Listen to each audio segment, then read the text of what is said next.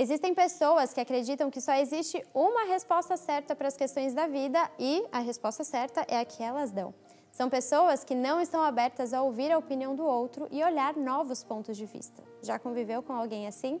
Egocentrismo não é fácil, mas precisa ser repensado e é sobre isso que vamos falar no vídeo de hoje. Música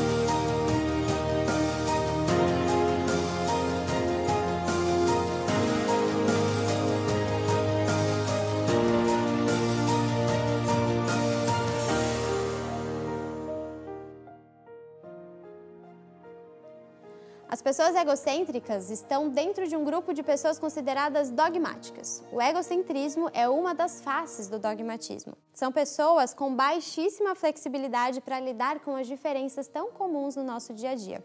Para começar, você sabe a diferença de egoísmo e egocentrismo? A gente confunde, por isso que eu vou te falar. Egoísta é aquele que não consegue amar o outro, não consegue colocar os seus interesses e opiniões em segundo plano para ajudar quem precisa. Já o egocentrismo é aquela pessoa que é prisioneira do próprio ponto de vista. Se você já conviveu com alguma criança na família, é bem fácil exemplificar o egocentrismo.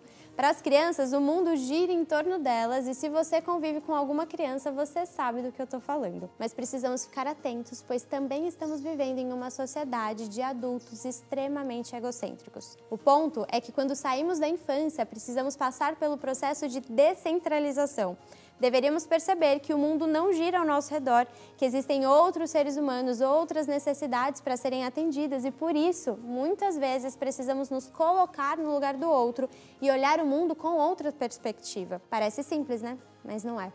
Em algum momento, vamos nos deparar com pessoas egocêntricas ou podemos nós agir de forma egocêntrica. O meu objetivo aqui é te mostrar que você precisa estar atento ao seu egocentrismo ou do outro, que muitas vezes está mascarado através de frases como: Eu penso assim, aceita se quiser, eu não preciso mudar, se você não gosta, você não precisa conviver comigo, entre outras frases parecidas. Eu quero te desafiar a fazer algo diferente, praticar a descentralização sempre que puder. Tenta olhar para a situação através de outra perspectiva e se permitir olhar através de diferentes pontos de vista.